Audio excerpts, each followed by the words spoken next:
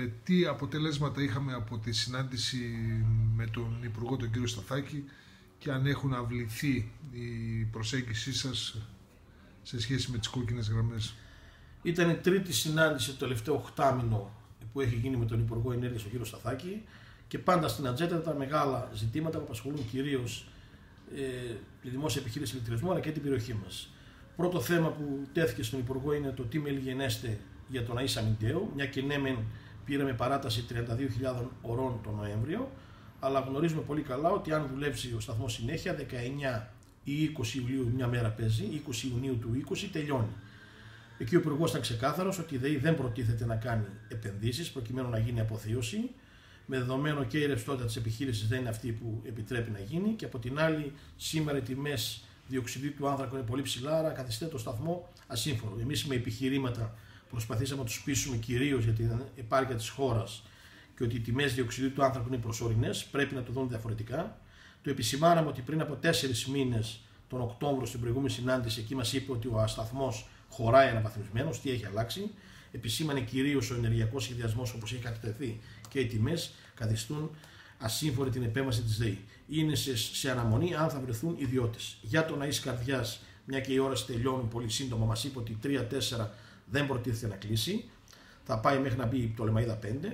Έχει τον τρόπο, είπε η κυβέρνηση, το Υπουργείο στην Κομισιό να τους πείσει για λόγους επάρκειας ενεργειακής ασφάλειας της χώρας θα μείνει η 3-4 μέχρι να μπει το Λεμαίδα 5, που από ό,τι μας είπε ο Γενικός Διευθυντής αρχές του 2021 θα είναι σε εμπορική λειτουργία. Και τρίτο, για το κομμάτι των προσλήψεων, το σοβαρό ζήτημα, μια και είχαμε πάρα πολλές αποχωρήσεις στο προηγούμενο διάστημα. Εκεί πέταξε τον μπαλάκι στη διοίκηση της ΔΕΗ, αν το φέρουν τεκμηριωμένα το τι ανάγκες έχει ο σταθμός, ότι θα φύγουν, ε, άναψε του μάλιστα το πράσινο φως ότι θα τις υλοποιήσει, άσχετα αν είναι προεκλογική περίοδο. Μας προβληματίζει το γεγονός ότι μπαίνουν στις συνολικές προσλήψεις της χώρας οι προσλήψεις στη ΔΕΗ και άρα το 1 προς 5 ενδεχομένως να, να έχουν προτεραιότητα τα σώματα ασφαλείας, ο στρατός, η υγεία και εκπαίδευση και τελικά η ΔΕΗ. Να είναι ένα πολύ σοβαρό θέμα το οποίο το, μας ενημέρωσαν πριν δύο μέρες, πριν τη συνάντηση με τον Υπουργό, ότι έχει αλλάξει αυτό που ξέραμε και αυτό, αυτό θα κάνει πολύ δύσκολες προσλήψει.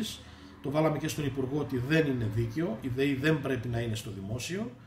Ε, ο Υπουργός είπε τα δικά του.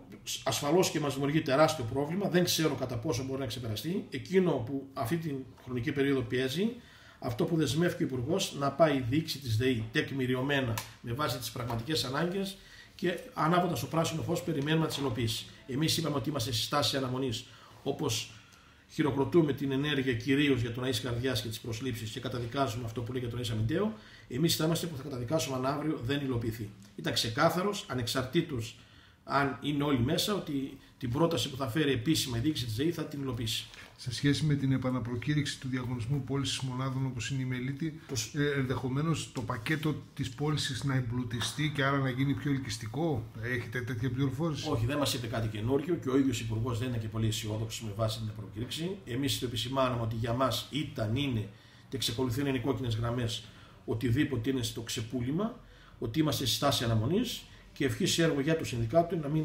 προχωρήσει ο, το επόμενος διαγωνισμός.